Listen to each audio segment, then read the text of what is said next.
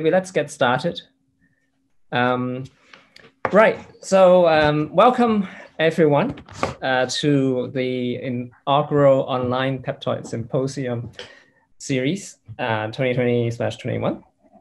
Uh, I'm Aaron Lau. Uh, I'm at uh, I'm an associate professor at University of Strathclyde in chemistry. Uh, co-chair with me today is Caroline Proulx from NC uh, North Carolina State University. Um, so again, welcome. Um, we are very happy to have you. We have over 170 people um, registered today. I think that's a great turnout um, and goes to show the strength of our community. Um, so um, without further ado, the first talk is uh, we have uh, Ron Zuckermann, who started it all, and needs no introduction. So I would let Ron take it away. Great, thank you. Uh, let me get this going. And great. Can people see my slides? I can see it. Yeah. All right. Well, it's really a great honor to be here and kick off this excellent seminar series. And um, this is really uh, going to be a overview of some of the significant things that we've done in the last three decades of peptoid research. Um, and uh, I want to cover kind of an overview of some some basic ideas. And the first idea is just that modular synthesis itself as a synthetic method is a general route to materials. Um, and that's something I think that we're all taking advantage of. I also want to talk about the importance of our community, the peptoid community, what we've done together, what we can still do together, and how important that is. I'll also touch on the universality of peptoid conformation. This is something uh, of great interest to a lot of us and something that's fascinated me for a long time. I'll, I'll touch on uh, some research on that. Um, and my sort of lifelong goal of atomically engineering peptoid structures is something uh, that I'll touch on as well. And the other message is that, you know, even though we've been at this 30 years, we're really just getting started and we have um, so much to do we understand quite a bit now. And so let's work together um, to continue to make an impact. So I want to first start off about the modularity of materials. And this, of course, comes from nature. And I was impressed to realize that 80% of the dry weight of a cell are sequence defined materials, either DNA, protein, RNA. And so it really brings the idea of as, as a synthetic tool or a synthetic approach, how can we create modular synthetic materials? And that's what peptoids are. Peptoids are a, a way to link together chemical units um, let me put my laser on. Chemical units in a defined sequence. And so the submonomer method that we developed uh, is one of the most efficient ways to link together synthetic units sequentially or iteratively into sequence defined chains. And so this is um, something we can substitute in a variety of chemical building blocks, of course, using primary amines. And this can be automated and rapidly assembled uh, at room temperature um, under mild conditions. So this is kind of the basis of how we got started. And um, I wanted to share with you some of the early um, history of this. And here, this is me in 1991, having set up the first automated synthesis robot um, and with this synthesizer, this is actually a Zymark assay robot. We were able to show that um, we could make pentamers, automated pentamers, um, with in you know with HPLC showing almost quantitative yield of a 10 step reaction. And uh, this was done at Chiron Corporation. And this is a table from our very first JACS paper. Um, I have a, a, reprint of it here I just found in my garage um, back when they had paper reprints. Um, but this last entry here, you'll notice this is a 25 mer. And I just put that in this table because, you know, we had done a series of five mers and then I just let the robot keep going. Uh, and we got a 25 mer back in 1992. Uh, and so at this time, we knew that there was tremendous synthetic opportunity here. And it really became, um, a, it became a exercise in what can we do with this technology. And so skipping ahead now, we can see that because of this modularity and synthesis, we can think about controlling chemical diversity, molecular weight, information content, and so that we can mimic essentially different classes of materials, whether they're small molecules, polymers, proteins. Peptoids can really touch on any of these things depending on your design principles and your interests. And so um, I'm really thinking of peptoids as a general approach to molecular function. It doesn't mean it's the only way, but it means that if we can solve this, this challenge of linking chemical information into sequence where that encodes some kind of function, then we can generate properties that mimic known classes of materials. And of course, probably more. Um, and so, if we look back at some of the properties people have engineered into peptoids, there are quite a few. And of course, I only have 30 minutes, so I'm going to blow through a lot of these. And this is uh, recorded, so we can look back at this later. But the point is that these known classes of materials have important properties, and peptoids are demonstrating a lot of important properties across these material classes. So there's a lot more room for um, exploration here.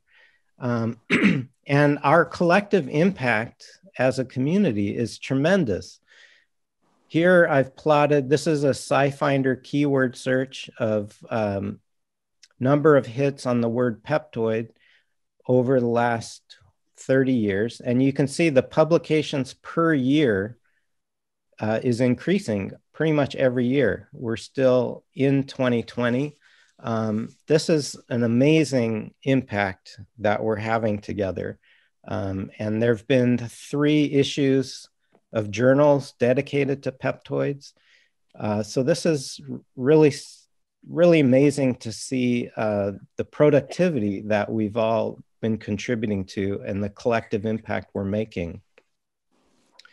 Another important development that's going on is the ability for peptoids to impact the commercial market. I think this is something I'm starting to pay more attention to now because uh, I get asked a lot, like, why haven't peptoids, why isn't there a peptoid drug? And of course, you know, that's a difficult problem, but people are working on it. And there are a bunch of companies using peptoids in their research. Um, Ligatrap is one of the few companies actually selling peptoid affinity reagents. Um, there are companies working on antivirals, uh, ice, preser- uh, ice prevention and cryopreservation, X-Therma. There's people using peptoids as drug delivery, uh, as small molecules. Um, and there are also companies manufacturing or producing peptoids at a large scale. So, using the submonomer method at scale to produce up to kilograms of material. So, I think this is an important frontier um, for the field. And I'm, I'm really hoping that we can demonstrate the financial viability of peptoids as uh, commercial materials because that's just going to help in investment in basic research, which is uh, my most important concern. Um, the peptoid community is something that's near and dear to my heart. It's um, something we started the peptoid summits. Uh, this is the first one in 1999. Um, we this has been growing steadily um, over the years, um, and thanks to support from Lawrence Berkeley Lab and the Molecular Foundry, we have um, hosted these events. And of course, uh, now with COVID, it's a little uncertain as to how we go about coming together as a community in the future. Uh, and that's why I'm really excited about this symposium series um, that Aaron and the committee has organized. I think it's a great idea. And I think we have to be inventive and work together to think about um, how do we continue to thrive together uh, as a community. Um, this is from the last Peptoid Summit, the 10th Peptoid Summit in Berkeley. Um, and it's really been a wonderful collaborative space where people have come together to share ideas and support one another. Um, m- maybe we'll have the 11th Peptoid Summit. This is something that I'm open to suggestions. Uh, and it's really not clear how safe that is or a good idea. So at the moment, I suggest that we all embrace this peptoid symposium online idea and figure out ways to continue to collaborate and work together. Um, an important value that we've had um, in the peptoid community is, is inclusion and diversity. And um, so here's Kent Kirshenbaum, Ken Dill, Annelise Barron, and I. Um, and we've always thought, you know, it's very important to welcome people into our community, to build good faith and trust with one another, um, and collaborate. And um, this is nicely evident here. I'm showing the breakdown of attendees at the last Peptoid Summit. Uh, and you can see there's a lot of students participating. There's a lot of academics um, which shows that you know people a lot of them are young academics getting started um, this is amazing because people can really um, find a home. I think my point in the previous slides is that there's so much open road here. There's so much to explore. There's so much room for creativity. You know we need to work together. We need to support one another. And we need to you know there's room for everybody to thrive. There's room for students to grow and if we conduct ourselves with you know scientific rigor and scientific integrity um, we can model for our younger students how to build a field together. And so this is something i'm really really proud of and pleased with. Uh, and we've, you can see here the breakdown of geog geography from the last Peptoid Summit. These are people who traveled from all over the world to come together. Uh, and I, of course, I miss those, those days. Um, but uh, we can do it online. So let's, let's keep going with that. Okay, let me switch gears a little to what, what I've been doing uh, in my lab. And um, what I talked about already is our ability to link together chemically diverse building blocks. And we can do that. We can make up to 50 mers very readily. And so I've been really interested in what sequences fold into defined structures. If we can, it's essentially the protein folding problem for synthetic materials. And so um, there are some challenges. Peptoids can be cis or trans. Peptoids are quite flexible in their backbone, uh, or at least that's the perception that we've had for years. Um, I'll show you that they're maybe not as flexible as we we imagine. Uh, and peptoids don't have a hydrogen bond donor on every monomer like peptides. And this was um, really first uh, investigated by Adrian Rosales and Hannah Murnen. These were students in Rachel Segalman's group. Um, we first set out to explore um, the impact of these things in peptoid polymers. So um, I thought it what it would be useful to do is to step back now after 30 years and look back and see how what is the diversity of peptoid conformation in all the structures that have been established so far.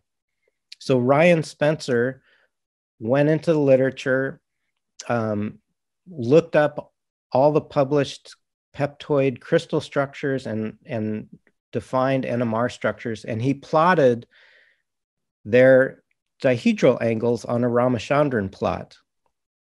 And so all these little red symbols are the defined conformations of these molecules. There's 46 structures that we used, uh, and in those structures, 132 bond angles. And what you see is they fall into clusters. And if we replot the y-axis, uh, the same data, but you can see more clearly, these really fall into these two areas of phi and psi. This is trans and this is cis. So essentially, there are just two, two conformers that you see all the time for phi and psi, and omega can be cis or trans. So we can simplify the Ramachandran plot, at least conceptually, to think about it as you're either here or here, sort of a right handed or left handed, and it's either cis or trans. That's it. Um, so that can really help us think about how to design structures. So if you repeat this red guy, you'll get uh, one helix. Its mirror images give you the other helix. And if you alternate left and right conformers, you get a strand which goes straight. And of course, these can be combined in different combinations. And if we can learn how to control which goes where by the side chains, we'll have a molecular construction set to build defined or be able to design defined structures. So nanosheets um, are something that we stumbled on, and I think we understand now quite a bit more about why these formed. Um, and so what's interesting is that you can draw a nanosheet in either the trans or the cis. Because these conformers actually i wanted to point out one interesting amazing thing about this these two minima actually lie kind of close to 90 degrees and 180 degrees. In other words these are these form very um, they're at right angles to one another. And and that's part part of the short answer as to why we stumbled on nanosheets it's because whether these are cis or trans uh, you can form a structure that's a linear strand. They have different uh, they have different sort of lengths um, but they have opposed linear structures and we actually got confused. We couldn't tell the difference. We didn't know if nanosheets had trans or cis uh, backbones. Both are very reasonable when you look at the Ramachandran plot. Um, but it was um, collaboration with Anant Paravastu at Georgia Tech, who did solid state NMR by putting in C13 probes and I won't go into the detail, but this data was shocking because it showed us definitively, there was no question, all, almost all the amide bonds in a nanosheet are cis. There was no question. We thought they were going to be trans, but they turned out to be cis. Um, and this was definitive experimental evidence um, using NMR, which was which was great. So we, but we also see nanosheets in other types of peptoids. Here is a diblock with uh, 10 decyls and 10 ether side chains, these also form nanosheets. And it's because of this ability to form this rectangular or linear strand structure. So Doug Greer was a grad student with Nitash Balsara and myself uh, at LBL, UC Berkeley. What Doug did was look at, he went, did a similar thing to Ryan Spencer. He went back to the literature, looked at all the known peptoid polymers that had X, XRD, X-ray diffraction data, particularly SAXS data. And he looked at series like this, where the everything in the molecule was the same except for the length of the main chain. And he could, in this case, see how certain peaks stayed similar, but then when you change one parameter, the length of the chain, this peak moves in a linear fashion. So he plotted this and found that all the known peptoids, there's 22 peptoids. The, if you plot the length of the chain, which they call degree of polymerization, against the d spacing, that's the X-ray dimension given by the unit cell, all of these fall on a line. And what's more, the slope of this line is three angstroms per monomer. And that also was kind of another resounding uh, piece of information that helped confirm that peptoids like to be in this cis alternating conformation and not trans. And that coupled with that NMR data, cis conformations in this is, you know, supramolecular peptoid lattices. Uh, cis is the preferred conformation. And the reason for that is that cis is shorter. The side chains can pack closer together and make more contact, intermolecular and intramolecular contact with one another. So, in retrospect, even though in solution, cis and trans have similar energy, when peptoids pack together in lattices, they prefer to be cis to allow this uh, contraction of the molecule and better packing. And here you can see a cis sigma strand um, laid out. And if we just look at the connectivity of the side chains uh, like this, so this is a nitrogen trace, you would call it, you can just see how linear or flat the backbone is. And this connectivity has 180 degree opposed side chains. And this is why we see nanosheets in so many different examples. Uh, here's a case of Jing Sun. She's at Qingdao University. She's made diblock peptoids by solution ring opening polymerization. Uh, hers have, this has roughly 54 octyl units. And even though it's, it's polydisperse, she observes nanosheets as well. And that's because these peptoids like to pack, presumably, uh, in the same, she sees similar XRD patterns. Uh, and so we per- believe that this cis sigma strand conformation is pretty universal for um, peptoid lattices. Um, interestingly, here's another case of nanosheets with aromatic side chain substituents. So aromatic side chain substituents actually form more stable structures due to the electronics of the pi system. And so Chunlong Chen, who's at PNNL, was a postdoc with me, and he um, discovered these very short peptoids that make nanosheets. So we at LBL looked at a system very similar to this uh, and decided to look at their atomic structure by cryo-TEM. And this, this is, I think, one of the things I'm most excited and proud of, and that's working with a team of scientists looking at cryo-EM of these nanosheets. And these are so well ordered that we can actually resolve individual molecules. Um, so this wedge shape is an individual molecule. We're looking at a top view. um, of the of the lattice. So this is the six aromatic residues. Uh, and you can see this uh, sort of chevron shape. And um, what we did was we said, well, let's see if we can put some substituents on this aromatic ring. And so we put a para-bromo group on all the aromatics. And lo and behold, you get this almost the exact same structure. But now you can see actual evidence of bromine atoms in this inter, um, this sort of between the lattices, they've actually moved apart a teeny bit to accommodate those bromine atoms.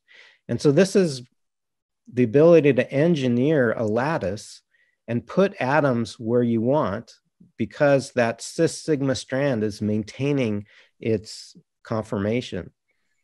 So we looked at, uh, so Nan Li uh, and Sun Ting and Shi Zhang looked at this by molecular dynamic simulation. And if you overlay these two molecules from these two structures, you can see the cis sigma strand backbone is identical in conformation. And the only difference is we've got these extra bromines. So I think this really points to we peptoids kind of know what they want to do and what they prefer. And we can instead of fighting with that, we can work with that to design uh, new materials. So I'm, I'm pretty excited about that. So the last part of the talk, I just want to talk a little bit more about what we can do with the side chains to control structure. Um, so this is one of the first nanosheet forming peptoids. Uh, one of my undergraduates, uh, Leah Rowe, who's now a grad student uh, at UC Berkeley, she wanted to look at the structure of peptoids in solution by NMR. And uh, this is the structure, uh, a model of the structure of this peptoid in solution before it folds into a nanosheet. Um, but that's just a model. She wanted to do NMR. So she made smaller sections of this molecule and looked at them by NMR. And amazingly, one of them, this one, had pretty sharp peaks. Uh, some of the other, we wouldn't really expect a tetramer to have that much structure. But this one had enough structure that she could determine the major conformer in solution. Uh, and it had a central cis amide. And we were thinking, well, maybe that's because of those amino amino ethyl groups on the side chain. And so um, Andrew Wadjaya, who's another uh, undergrad, and Andy Nguyen, who um, was my postdoc, he's now professor at University of Illinois in Chicago. We decided to investigate this ability of the amino group to potentially, is it hydrogen bonding with the side chain? And these amino groups can induce cis conformation. We just picked a simple monomer and did solution NMR. And there is some mild preference. So, um, what we decided to do was make some analogs of this. And so here are a bunch of analogs. These all have some side chain group, uh, amino group. Some of these are alkylated, so they can't hydrogen bond. Um, and we looked at their cis trans ratios in a variety of solvents. And I'll just alert you to some of the most notable ones actually had 70 fold ratio of cis to trans. This is exceptionally high. And the crazy thing is that these were uh, these yellow ones, these were ones where, like this one, where all the H's are gone and they're replaced with methyl groups. And so this uh, kind of caused us to really study this in detail. And we realized that um, quaternary ammonium groups, like these trimethyl ammoniums, the positive charges are really residing on the hydrogens and these hydrogens can be active hydrogen bond donors. And so we solved some crystal structures, and we can see uh, that there is a network of hydrogen bonds between these CHs and the carbonyls. And these work together to create uh, a stabilization of the cis. And the cool thing about this is these are polar side chains. Most of the uh, known ways to induce cis use um, steric bulk. Uh, so this is an interesting mechanism, and I think it just points out there are lots of things we haven't thought of yet um, that might be very simple to control structure. So I will wrap up and just say peptoids gives us a pretty amazing synthetic access to just a tremendous diversity of materials. Um, we have, if you just say a couple hundred side chains uh, to a length of 50, that gives you an unimaginable number of sequences. So I think we'll all have room to play for some time here. Um, and I think we are slowly making impacts in therapeutics, diagnostics, drug delivery, sensor coatings, um, mimics of proteins like affinity reagents, uh, nanomaterials. Um, and there's also a lot of room in just fundamental science of self assembly, polymer physics. Uh, there's a lot of work to be done. Uh, and so the future is still ahead of us. I want to thank all of my students. Um, I realize this list is mostly from recent contributors, but um, there have been so many over the years. Um, I'm so grateful to everybody I've had the chance to work with. I want to give a special shout out to Michael Connolly, who has worked with me at the Molecular Foundry uh, to set up a user facility to create peptoids for the community. Um, he's done an amazing job, and that facility is still open for everybody to access. Uh, I want to thank LBL and Department of Energy and the Molecular Foundry um, for their support of this effort over the years. And with that, I'm going to wrap it up. So thanks everybody for having me. All right. Thank you very much, Ron. That was a really nice presentation. It's great presentation. I don't know. I can clap. I don't know who can clap. And we can hear that. Um, well, well, we have a few questions. Um, so let's just get to it. And yeah, uh, if you, uh, all attendees, please continue to post questions. Um, so uh, Yuchi Tsuhara, uh, first one, in the point of industry, what is the nanosheets made of peptoids compared to that of peptides. I guess the point is, you know, what do you see in the uh, in nanosheets for industry um, application wise? If there's something right. about nanosheets.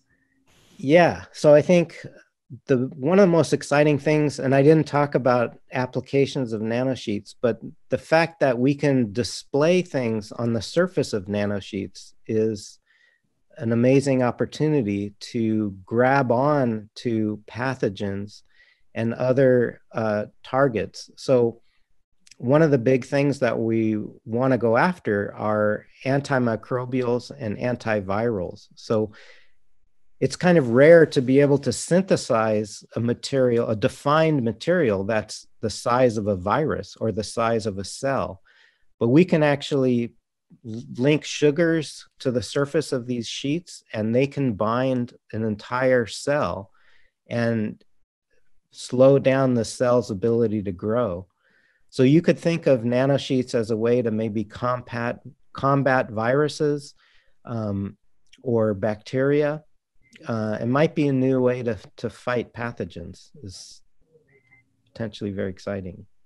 That's cool.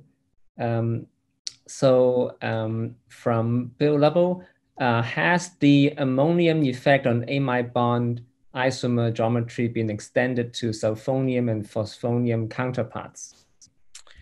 That's an interesting idea. And no, I don't believe that's been done. Um, but I think I think anything that can be a hydrogen bond donor is uh, on that side chain is an opportunity worth exploring. Right. Yeah. Um, and from uh, one of the attendees, uh, so uh, great talk. Would you like to? I uh, would like to know whether peptoids assist in crossing the blood-brain barrier. If there's opportunity then. Yes, there are a few published examples of peptoids that cross the blood blood brain barrier. Um, so there are, of course, it depends on the the molecular weight and the size and and so forth. But yes, there are some examples of that in the literature. Okay. Um, well, everyone, uh, please keep the uh, questions coming um, as well. Um, so we can, it's now uh, in the UK for 10 past four. So let's, uh, Caroline, would you like to move on to the next part of the program? Sure, yes. Um, and Ron, thanks for the great thanks talk. Again, sorry, yes. And we can come back to uh, uh, more questions. There's, there's an extra 10 to 20 minutes at the, at the end of all the talks for additional discussion. Thanks, you guys. Thank you. All right.